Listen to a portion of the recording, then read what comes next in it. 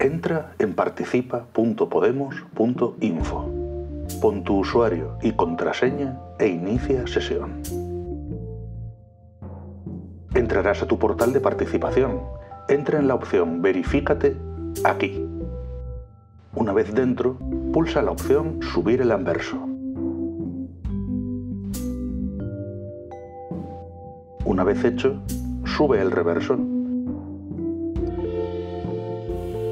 Acepta los términos y condiciones y dale a Solicitar verificación.